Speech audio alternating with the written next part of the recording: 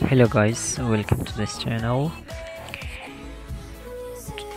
I'm gonna share a story between Hande Erçel and Kerem Bürsin they are the most popular actors in Turkey and uh, they have relationship. And they are they are in a relationship and uh, actually they are not married uh, they but actually they are a relationship and uh, as you can see they look like the best couples in the world.